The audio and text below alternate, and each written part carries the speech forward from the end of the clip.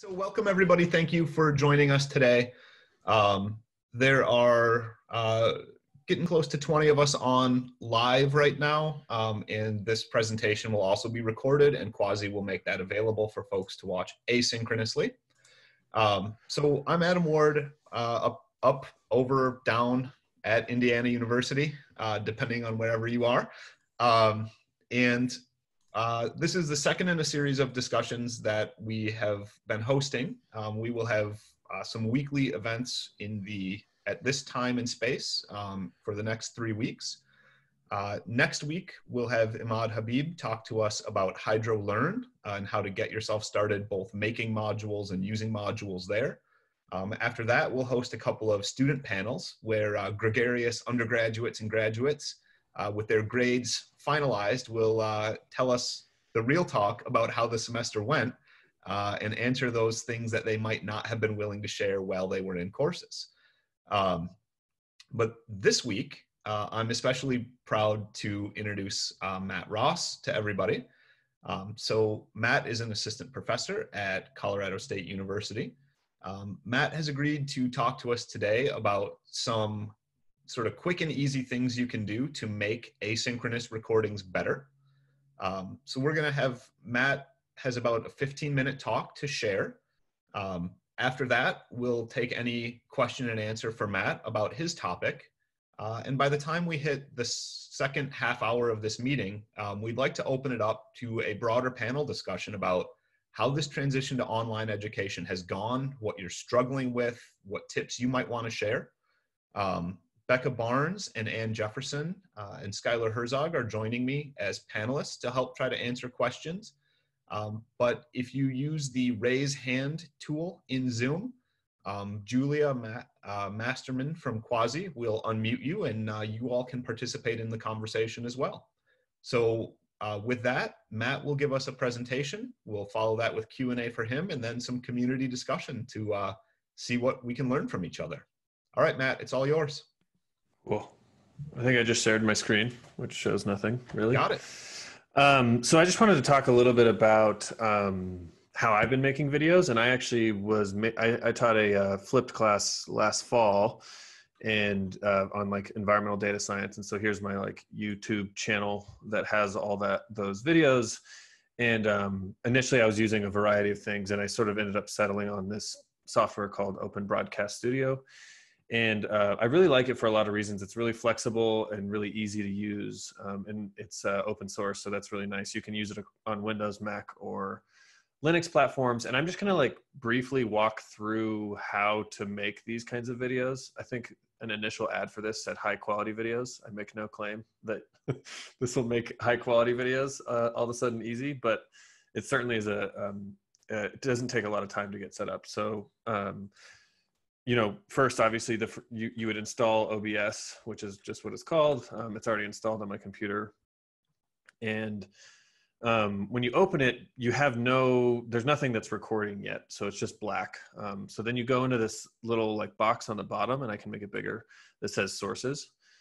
And you can click just plus, um, and maybe we want to capture my uh, video screen and I'm at home, and so my laptop has a, a um, camera, but I also took my work camera in. So I'm going to switch it over to this screen. So now um, that should be, oh, it can't because I'm using it for Zoom. Okay, never mind. We can only use this one because the Zoom one is being used. So anyways, you can switch your camera. Um, you can change the resolution. Um, I, if you're like live streaming or something, you might want to decrease the resolution. So this has a pretty high native resolution, but we can decrease it.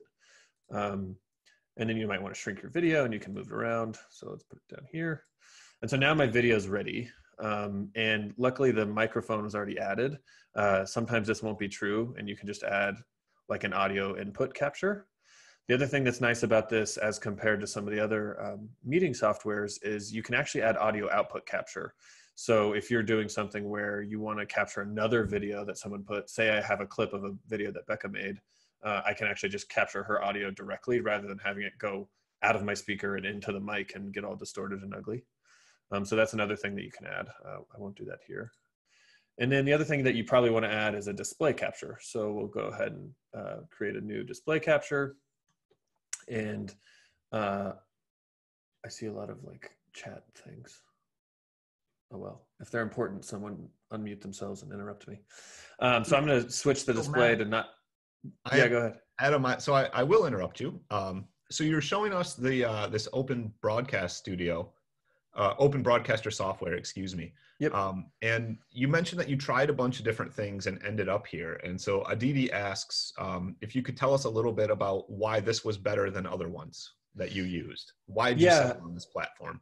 Yeah, great question. Um, I don't even remember what I tried. I think I read one of those articles that's like uh, how to record local videos, and I tried the first three or four, and most of them um, ended up having a pay tier to do all the full advanced stuff. Whereas Open Broadcast Studio, you can do everything in here um, with without paying, so it's completely free. Um, and then you can also sort of um, if you choose to because you really like it and i have chosen to do this you can actually donate to the to the sort of effort.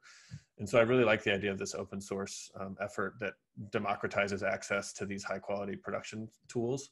Um, and i actually just found it really easy to use is why i settled on it. I found the other ones um, either too much or too little. So i found this had a little a, a nice um, sort of balance between just the right amount of information. Um, so that's ended up being how i chose it. I think i can actually see the q&a if i try okay yeah dts so it's the best option. Um, and so that that was sort of my thing. And then i also at the time was not live streaming. I actually think zoom has a pretty good you have a lot of capacity within zoom to do a pretty good recording. Um, but these were pre-recorded so I w- there was no need to zoom them. Um, so that was sort of the ended up being the goal. Um, okay i think i'll keep checking the q&a occasionally now that i know how to see it. Um, but so uh, when Adam jumped in, I was just adding this thing that was a display capture, and you know I had two displays, and so I just you can move them around. Uh, obviously, this one gives you this nice mirror effect where you see the infinity of your screen, but we don't want that, so I just switched it to display two, and then it tells you the resolution you're displaying at, and it asks if you want it to see the cursor, which most of the time for the videos we're making, you probably do. Um, so you know, now I have this video, but now my video capture device went away. Okay, well, I just go up and I right click on it and I say, um, I check the order and I say move up. And then now my video will pop up uh, in the bottom right. Um, and then uh, that's sort of the main, you know, you can move this around, you can make it bigger, you can do, you can change the options like live uh, as you are recording. So sometimes with my, um, recordings in class, you know, I'll be coding for a while and explaining a thing, and then I'll want the students to focus on what I'm saying, and I'll just make myself bigger, and sort of uh, up the, like make the side the um, question the um, code invisible. And so then this is just like what I would be doing. Um, and so now that I have this set up, the mic is working, everything seems to be working. I can just do start recording. And um, in the bottom right, it'll tell you have this little red dot that says it's recording. Um, and then this is occasion it usually something's weird. I thought weird stuff might happen because i'm recording so many streams right now uh, with zoom and this. But um, you, there's also usually on the right hand of this stop and start recording is a little pause button. Because if you stop this recording it's going to save the video. So right now i'm recording uh, normally you know in, in a class i would like open RStudio. This is like a video like some stuff i pre-coded. And i'd be like hey you know here's you got to load the tidyverse package blah blah blah blah blah and then I would run the code and some visualization would come up um, that I would explain to my students. And then, um, you know, this might be a case where the code's running and I sort of want to explain like, hey, so, um, you know, when you're thinking about coronavirus, you really got to think about the quality of the data because we don't know anything about anything because we're not testing enough. Um, and then I would sort of move in and out of my window and let them sort of uh, see me while I'm giving the lecture part. And then when it goes back to having the video finished, um, I would actually like sort of zoom in on that. Um, so, you know, and then the other thing you can do is like, I just finished a thought, but my code is still rendering. So I could stop recording. Um, and then I can just show you where that recording goes. In my, on my computer, it's just preset to go to the videos folder. And so you can see some of my other, um, what's today? The May 1st. Yeah, so it's May 1st. Um, and so now this video that we just recorded is now here and it's hard to talk because I'm listening to myself talk. Um, just kind of that's what the video looks like now. And then, um, you know, this video that I just made in RStudio is almost ready, so I can start recording again. Uh, and you know, sometimes that's seamless, and sometimes you make mistakes, and it's fine. Um, so once this sort of video gets up, I would be like, "Hey, students, you know, what do what do we think about this video?" Um, and it's going to render theoretically. I feel like double pressure. I'm live streaming and recording and recording on my own computer. Um, so this, you know, this is very common in, in my code videos, especially that something is sort of takes longer or take, um, doesn't work quite as well as you want it to. Okay. So now, um, it's working. You can see this like visualization of cumulative cases versus daily new cases, which is a reasonable way to think about growth rates of coronavirus. And, um, that's just sort of like what my, you know, maybe that's what I'm discussing in class. Um, I'm going to sort of stop that because it takes a lot of energy. So now let's say I'm done. Uh, I'm going to stop recording. And then now if I go um, back to the videos folder, uh, now I have two videos that are recorded today. And so then, you know, that's the sort of OBS part. It's that simple. It's uh, really pretty basic. And um, that that that's where I would sort of end, um, and then you know I would just close OBS. I'm done. Um, the other thing I would say is I, I set this up as a new one, uh, but you can actually save your presets. So like how how loud your mic is and other things like that, you can move around, and then you just go to scene collection and you make a new one. Um, so I have one that's called lectures, and it looks like this. Um, so that's just like you know you can you can sort of pre-save stuff. Um, there's a lot you can do with obs this is not like really an obs tutorial. It's more to just say this exists and this is how i use it. Um, i don't yeah good question comedy uh, it's a dot wave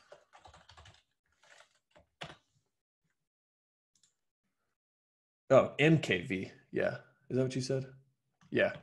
Um, i think yeah so it's a mkv um, and then actually you know when you're often if i live stream properly like i i, I it's like one recording uh, one shot and i do it right. I'm really happy because if i have to do the next step uh, which i'm going to show you now it, it, just adds a lot of time because now you're going to have to compile and compress videos. And um, yes yinpen you can uh, pause i don't know why it's not showing that right now in mine um, but every other time I've ever used OBS, there's a little pause button to the right. And there's also a hotkey. You can learn the hotkeys to pause, like it's like function F9 and it'll pause automatically. Um, and that would help you avoid what I'm doing now, which OpenShot Video Editor is a lot like uh, iMovie for um, um, if you have a Mac. And so now I just want to like add in those two videos I just recorded. So I'm going to add them into this little queue up here and then um, just add them into this track list. And, um, you know, now this is like the two videos we just recorded and we'll click play in them.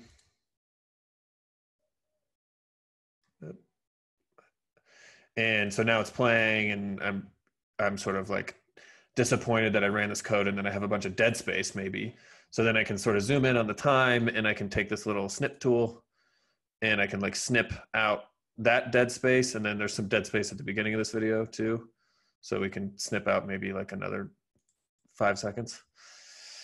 And then uh, turn off the snip tool delete these two clips grab them pull them over uh, and then now the video when i press play it'll be less of a dead space obviously i could have cut more in this case um, and then when you're done editing this and you can add like MP4 tracks and other things on top of this to make it, you know, you could basically do super professional video editing if you so chose.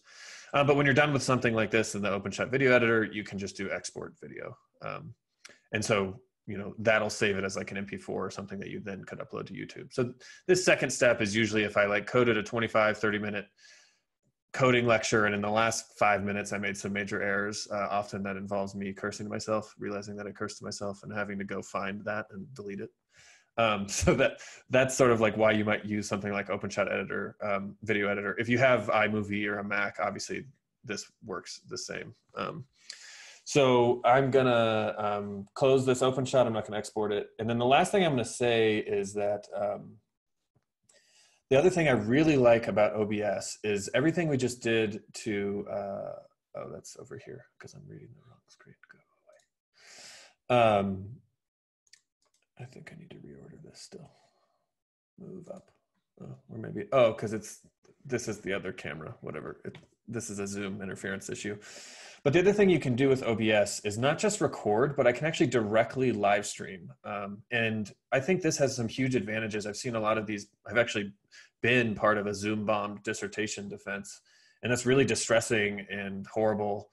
And um, I think that, you know, when when we're as a community moving to online presentations, in particular supporting our students as they present, um, I think that the conference software has this really big problem where basically if you have an open invitation on Twitter or social media, you have to password protect it and pre-register and do those these things to sort of protect the student presenting or the faculty member presenting from uh, the Zoom bombing madness. Um, and I think we can do better because we really want to advertise these as these super simple things that anyone can get to. And to me, the best solution to that is basically doing live streaming and with uh, comments off. And so you could imagine you have a live stream that you really want to advertise and you want to get a big audience and so you but you want to minimize the barriers to watching that. So people can watch it on their phones and just sort of immediately participate. And um, obs all you would do is you'd set up your whole thing like this and then you'd click start streaming. And uh, it's going to ask for a stream key and then i can't do this because i'm recording with uh, oh, you're already seeing that. But like on youtube you can make these live live recordings and you just go you'd go to go live um, and it's going to sort of load this this live studio essentially. And um, you create like a this is a demo. And you could schedule it for later. So like if this is a defense you could schedule it for an hour from now or something. Or if this is like a web conference um, that you really want people to to see you could schedule it for later. And then you advertise for a couple days ahead of time. And then you just uh, no it's not made for kids. You are and then this is going to make a thumbnail i guess Yay. Um, and then you can do, uh, you basically go into the settings and you can actually get like a key um, out of the, these settings. Um, and then what you do is you take this key, which I can't find right now Uh, because it's, I think, it, I think because I'm already streaming, it changes things. Um, but you can basically grab a key and then in, and then in OBS, um, you you need to, uh, let's do that again, start streaming. Uh, you open the settings for a new key, and then you go to stream, and you would just uh, say that you're doing YouTube, and then you'd enter this uh, streaming key, and then whatever is on your OBS is going to live stream to YouTube.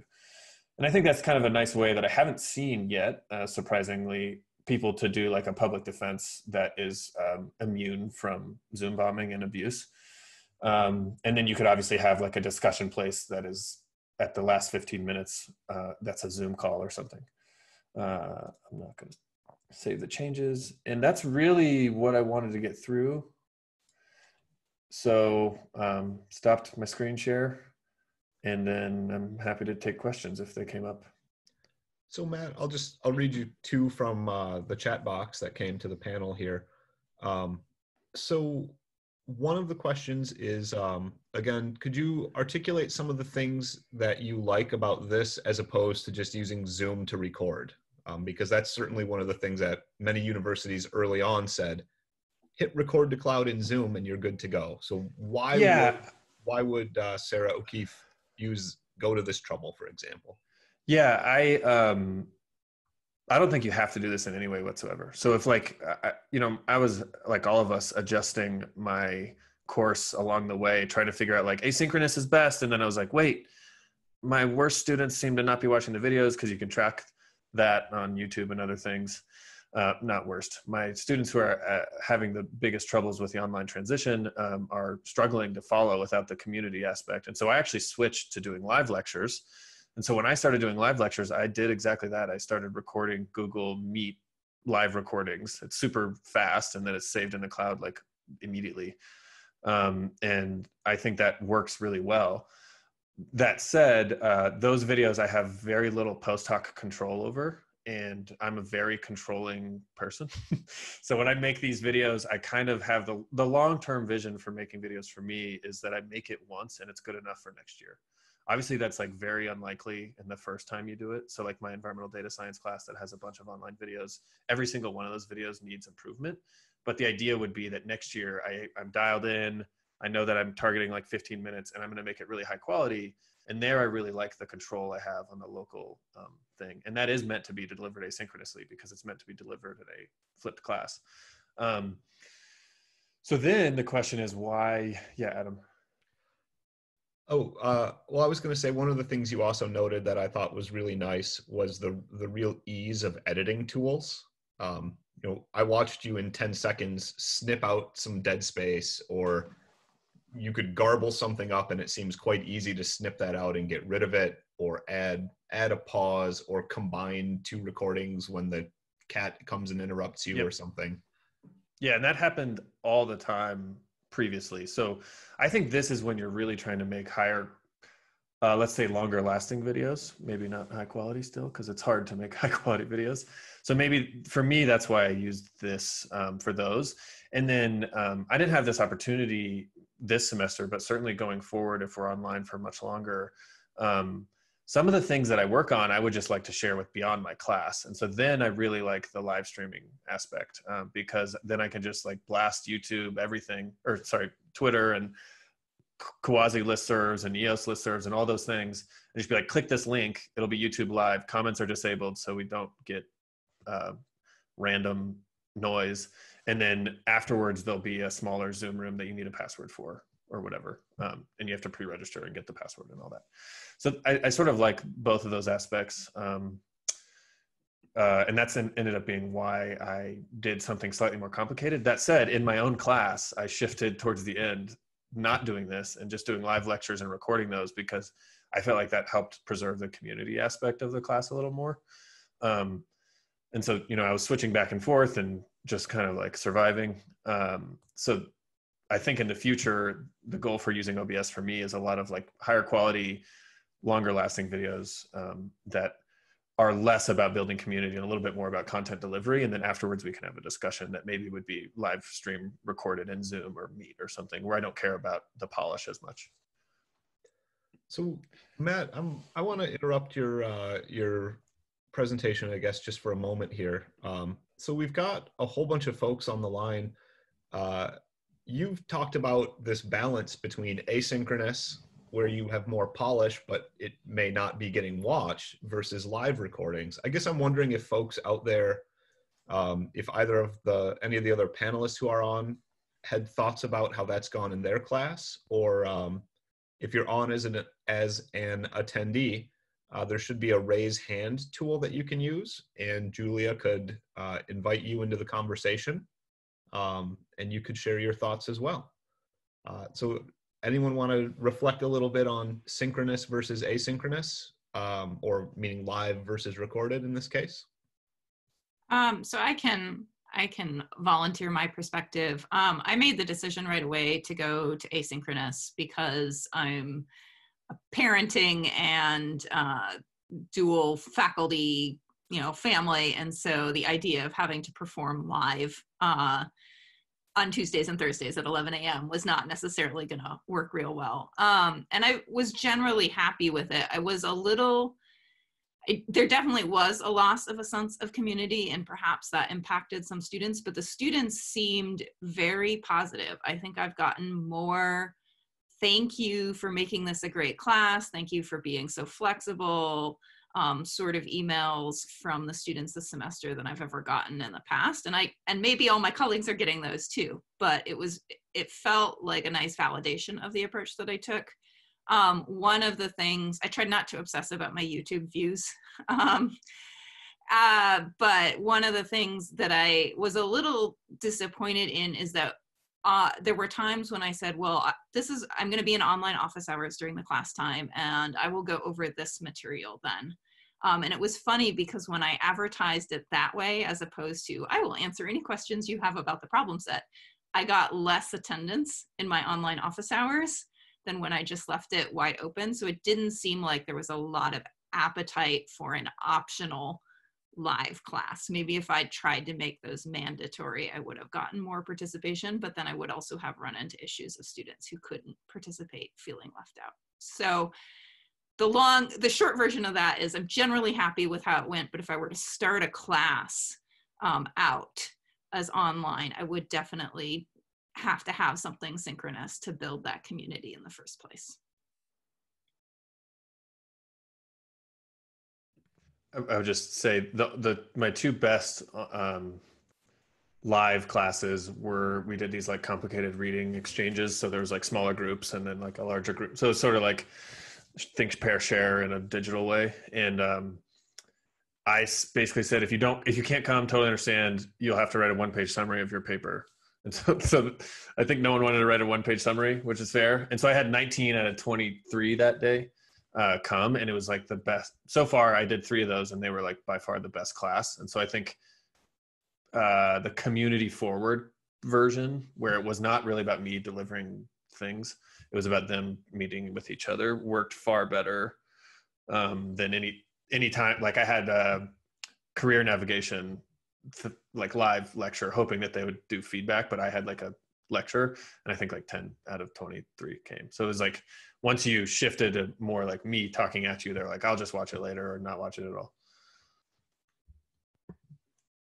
Um, as someone who, so I started teaching my class online because Colorado College has this unique system of teaching where we do everything really quickly and intensively. So um, a block is three and a half weeks uh, due to pandemic that got shortened to three weeks. Um, so 15 days for an entire class. And um, I added more synchronous time throughout, and all of my synchronous time was essentially what Matt just described, um, with maybe me talking for five or 10 minutes to give an overview of what I had learned from everyone's input the night before.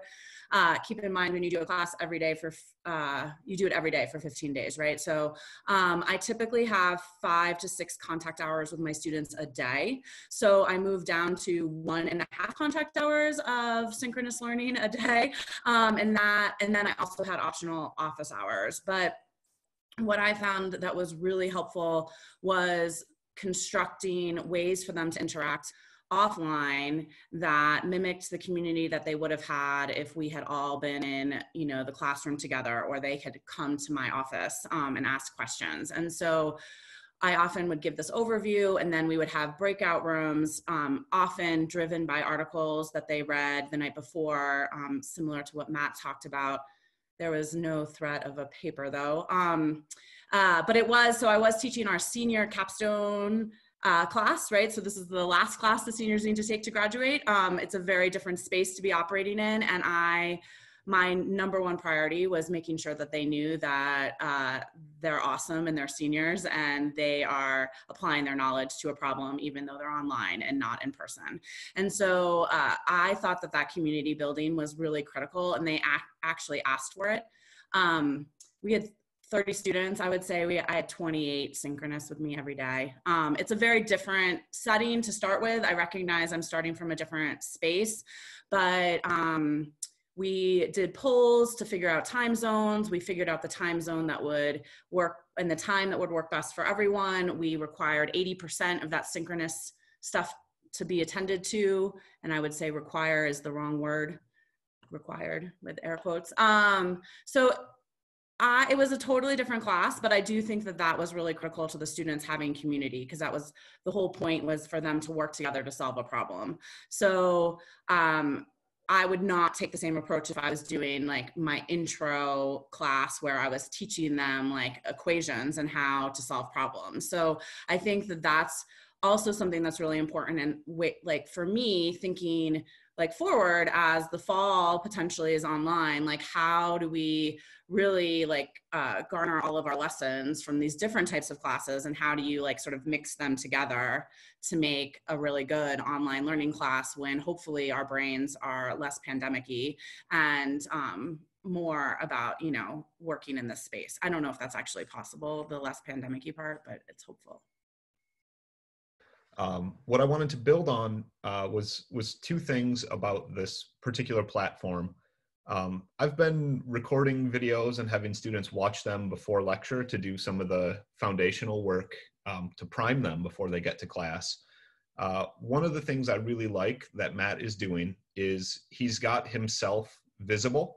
Um, so as opposed to a narrated PowerPoint, for example, um, or, or just an ominous voice when only the screen is visible, uh, I've done both and my students consistently tell me that seeing that seeing that face in the corner is incredibly helpful.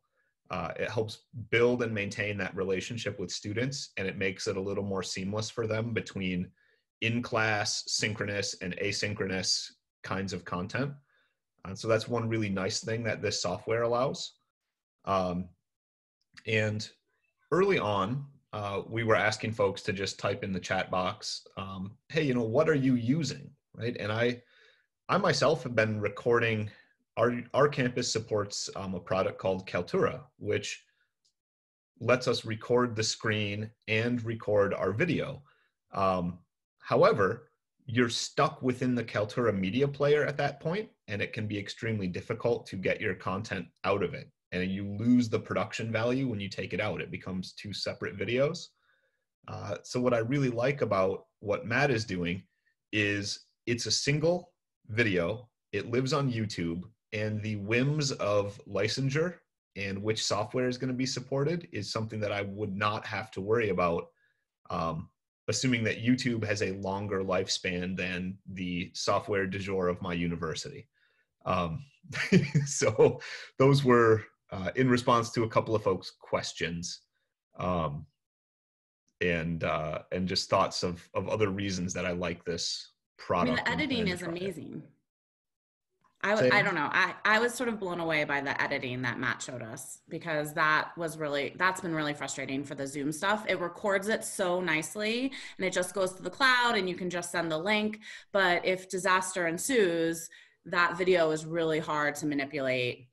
I.e., I just, when disaster ensued, I just didn't share it and I like provided notes for my students, um, which was then, of course, more work. I think one of the things that's been surprising to me is I knew it was going to be more work, but I already felt like we worked a lot. And so I'm just like shocked at how, like, how much more, um, sorry, there's like animals entering, how much more, um, like, effort it was just to create a lecture and i was i i just didn't realize that it could take even longer. So i don't know for me it was also just changing my expectations for myself. Yeah that was definitely a motivation for obs and which is the recorder and then openshot video editor which is the editor is like what is the minimum like techno brain smashing that i because it's already hard to make a lecture period and then you have to like add on this layer of recording yourself and doing an okay job and so I, those I settled on those largely because I felt like they were the least amount of time for the highest unit quality. And obviously they're free, and I I really believe in open access development. So they're all the code source code's all on GitHub. You can if you're really into video editing, you could be a contributor. Um, you can support them obviously monetarily too if you use them. So I really like this ethic um, generally, uh, and it just is cool that there's actually you know video editing software that follows that ethic as well. So I want to, um, you know, before this started, uh, the the panelists we were talking about office hours, and folks have sort of mentioned it in a few different ways.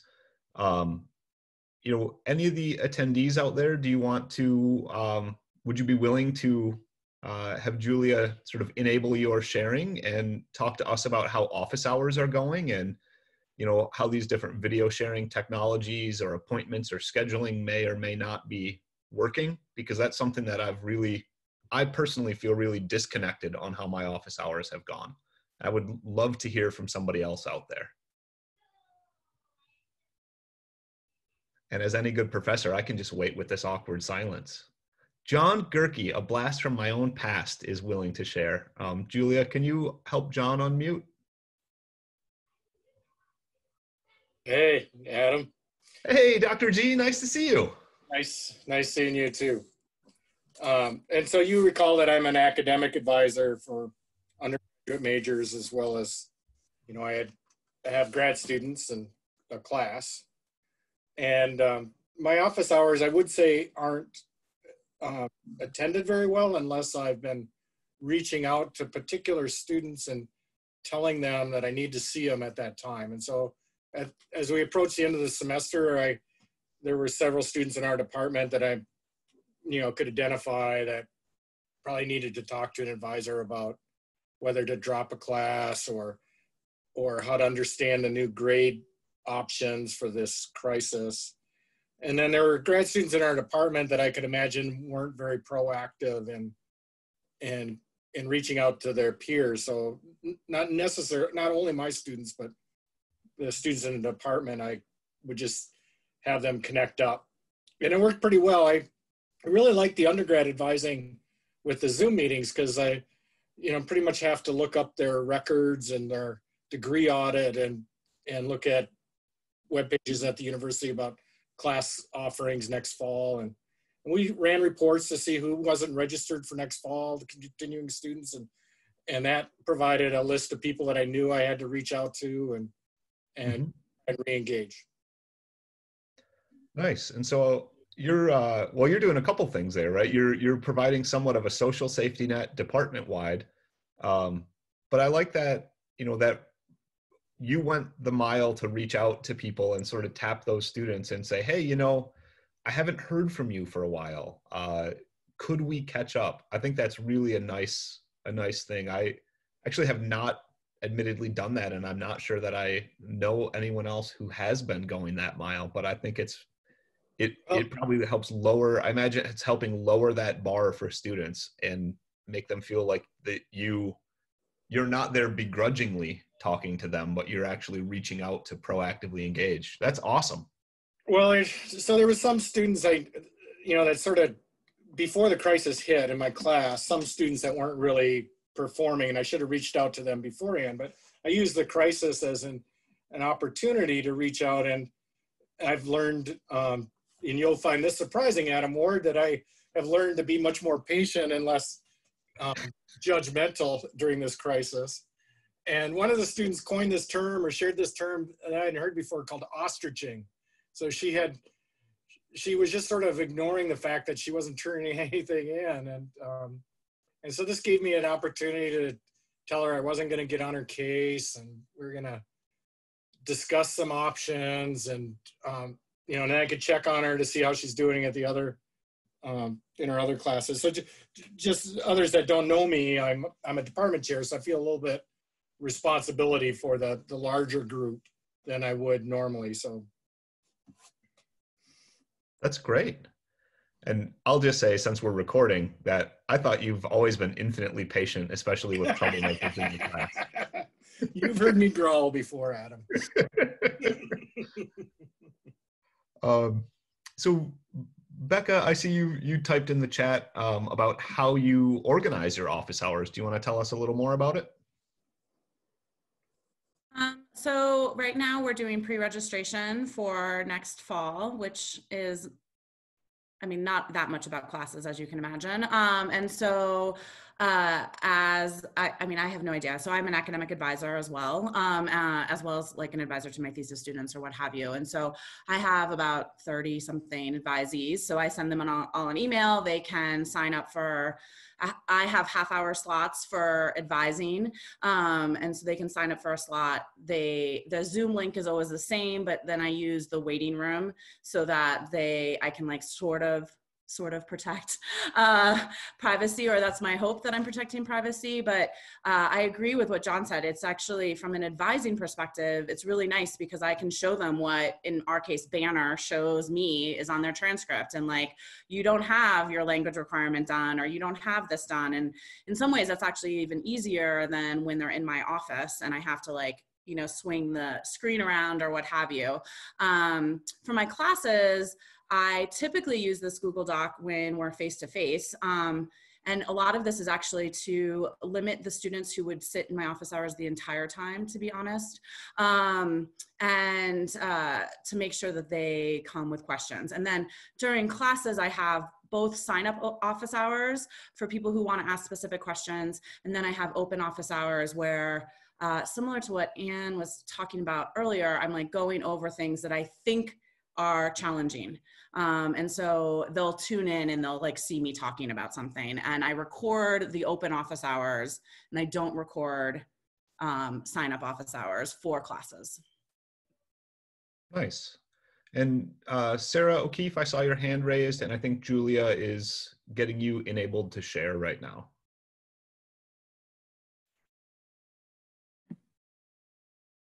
Hi. Um, so I'm a, a junior, uh, so I'm on the other end of the, maybe the spectrum from your mentor. Um, uh, and uh, I renamed my office hours coffee break and advertised that it was to only talk, only socialize. And people started sh- showing up, but as we were socializing, they would highlight things that they were having problems with, and then I would follow up with them with an email, you know, would you like to ha- to chat about that? and then set aside another block of time to to chat about it. And so it was kind of like a uh, a low low stress way that they could uh, approach me. And um, it seemed to work Nice. So that's and I I hear you doing the same thing that um, John is doing, right? You you guys are both finding ways to lower that bar for office hours. Um, I guess the the pre-COVID equivalent would be the professors who hold office hours, you know, out in the atrium or out in the common space, as opposed to up shut away in their office, right? Just making it slightly easier and less pressure to attend. Uh, awesome. Uh, let's see. Anyone else out there want to share what you're doing for office hours or how how things are going? And in the Can I just say one thing that's been sort of helpful, um, both in face to face and digital? I think I often share the common things that come up in office hours or questions I get over email um, because I think that most of our students just there's still this fear that they're the only one with a question, right? And so I frame my uh, review every day. I frame all of that based on um, what I've heard from students the night before and generally i've always heard from at least someone and i sometimes fib a little and say it's from a lot of people but you know i know that most of them don't know how to do something and so i think that it often is a really good way to like uh, show them how it can be helpful to not only them but their classmates so i try to just be reflective on that in the i was about to say in the morning but i have no idea when these things happen anymore but yeah Yeah, so you're so Becca, what I hear is you're you're amplifying those students, right? That when when you get that one or two students who bring you something,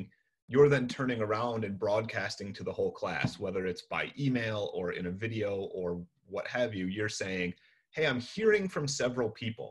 So that's kind of like what you might do informally at the start of the next lecture uh, when the face-to-face synchronous teaching. Um, nice.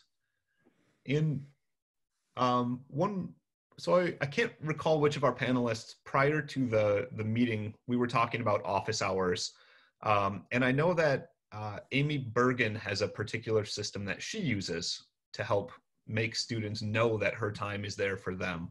Um, was it Matt or Becca? yeah, or- I, I was just saying I sort of have adapted her framing, which is largely like you give them the opportunity to schedule with you by letting them know your schedule. And so I just had these office hours that basically was like sign up for it 10 minutes. You could sign up for as many as two 10 minute meetings in a row, mostly because my lab class normally all of April we're outside doing stuff, but it turned into a code class. So they had a lot of like, the map's not generating, ah, and so it just takes like a minute to fix um, and walk through the the problem. And so I just like let them have lots of frequent meetings, um, certain times of the day that mm, worked with my wife and I's um, childcare schedule. Just basically like, okay, I don't have Soren right now. I can um, answer a bunch of students' questions. And I did what Becca said for sure. If if even one, I did exactly like fib. If one student said a question and I was like, oh, that's probably other people don't know that, I would be like, everyone's asking me about blah blah blah, even though it might not. Um, yeah, and we use something like you can book. I think that's actually what Amy uses. I use something called Appointlet, same exact idea, and it actually generates a mini conference link for like Google Meet. So it's just like one of those things like we've been talking about. It was just very efficient, and so during these times where I mostly, you know, my work hours are cut in half with childcare, um, being efficient has been very important. And that worked out pretty well and i felt like my students in general were supported. I still um, i think i could have learned from john and sarah's and becca's approach to humanize the office hours a little more. I, I had a big drop off in sort of that human to human connection um, and then Anne was asking another question in the to the panelists, which is like about equity across sort of like internet access. And I did have three students that either had very poor internet or some that had internet go out for several weeks, and then that just made it. So with those students, interestingly, because it that was like a humanizing event, we all exchanged phone numbers, and I was able to call them and sort of like um, keep them on track. Um, and th- those happen to be students that were really good and that really focused in the class even after the transition online. And so they stayed really motivated, but they were probably the ones I stayed the most connected to because of that event that made it a lot more like directly, like I have to just call you because there's no other way to communicate with you. Yeah, and I think that's great. We definitely experienced some of that too. But actually, um, I was thinking about with all of us relying on, um, or many of us relying on videos, whether they're live or they're pre-recorded, the issues of accessibility in terms of, are you providing transcripts? Um, have you found, I've been sort of relying on the YouTube auto-generated transcripts, but they can be pretty terrible. Um, my husband has been writing a script out and posting it, but then nobody watches the videos and it's taking a huge amount of time, but that's certainly a better way to do it and solves um, issues for both uh, students who need accommodations and um, and might have slow internet where they can you know open a web page but they can't necessarily stream a video. Um, and i was curious whether anybody else had come up with a middle of the road solution between doing nothing and writing out a full transcript by hand.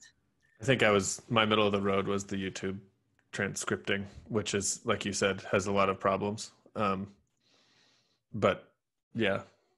I guess there's certain you could maybe you could script like the because obviously we like start the call and we're sort of like mumble along and talk about things that are in the syllabus or whatever. But maybe like if you don't have enough time you could tr- transcript like the critical 10 minute part um, versus transcripting the whole thing. But i haven't been great about that and just sort of a, did the youtube version. Nice um, so I wanted to a couple of things. One, um, if there are any other contributions to this sort of video chatting, what are we doing? How are we engaging? Um, feel free to type those in the into the chat box or raise your use the raise hand tool if you want to share them. Um, I wanted to also note um, several of you will have participated in uh, a survey that Skuyler Herzog, one of our other panelists, and I, and I sent out um, over the last month or so.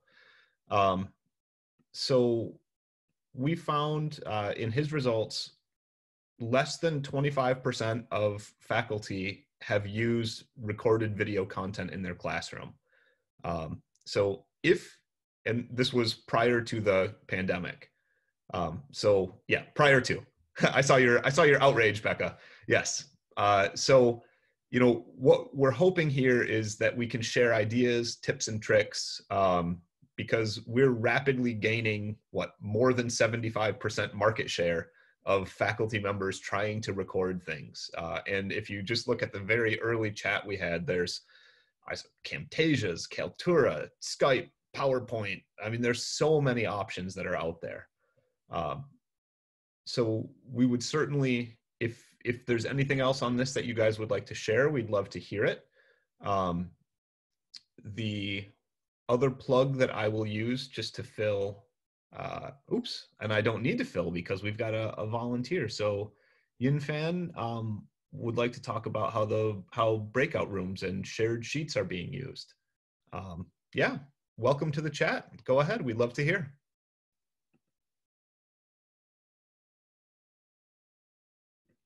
And perhaps you're muted or having a microphone issue. We don't seem to hear you right now, Yin Fan.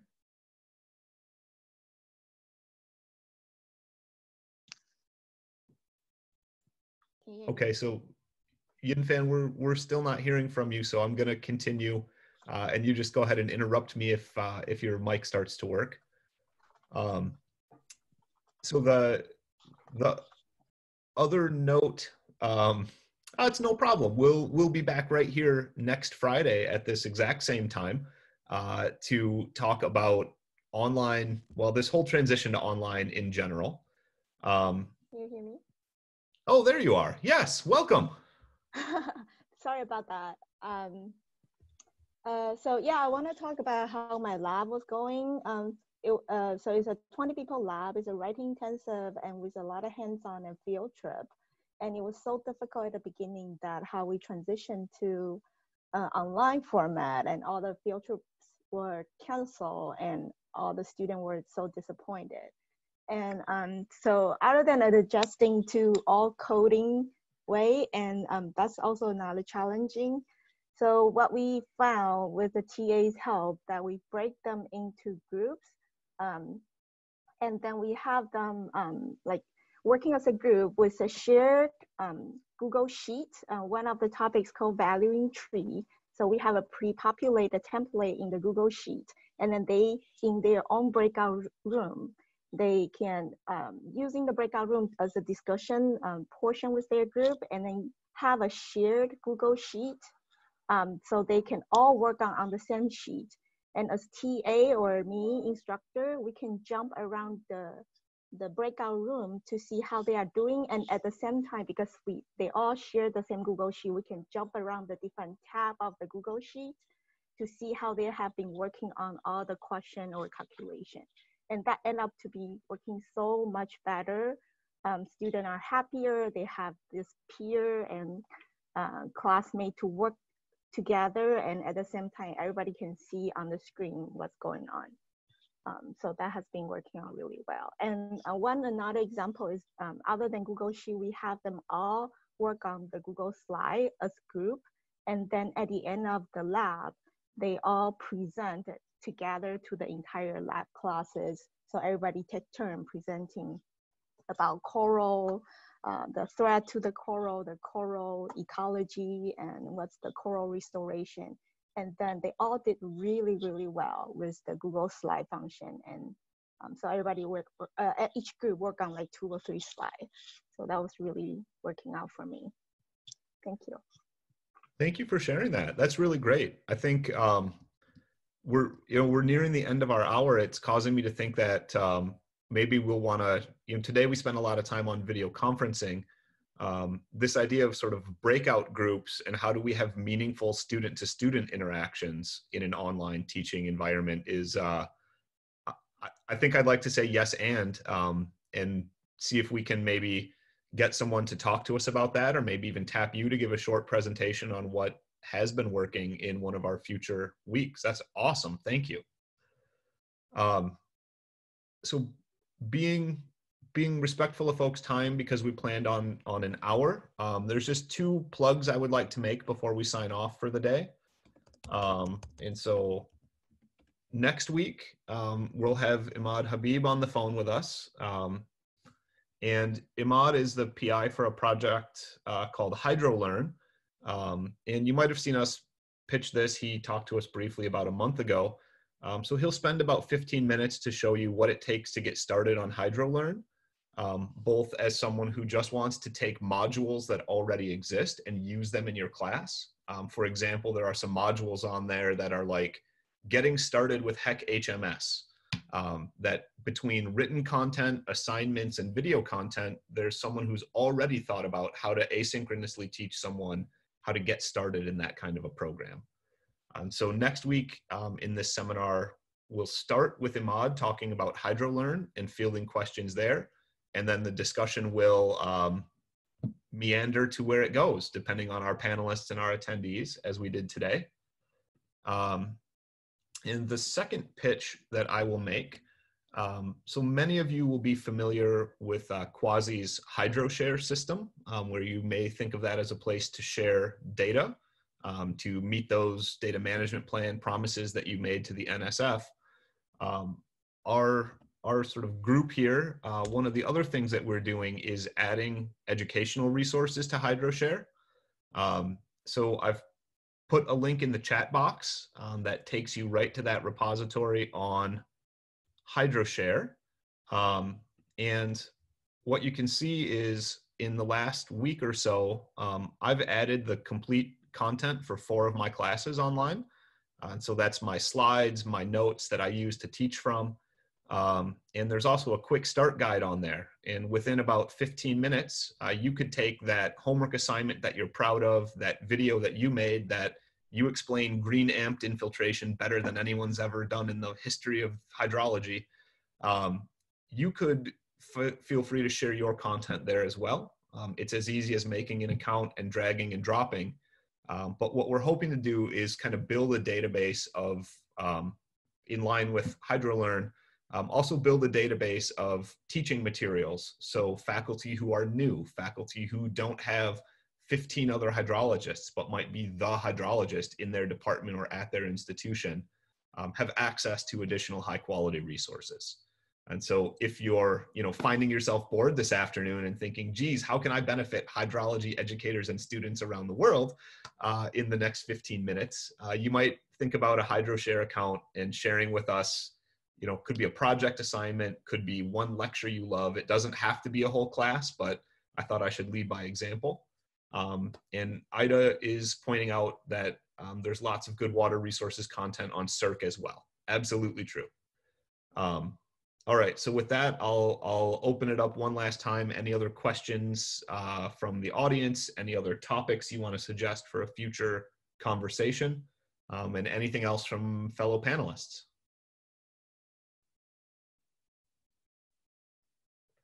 Okay, well, thanks again, uh, Matt, for agreeing to present this week. Um, we'll get this, um, this video recorded and archived. Uh, we'll post it on YouTube. Apparently, not as seamlessly since we're doing it through Zoom uh, as the technology you just taught us about this morning, but we will get there.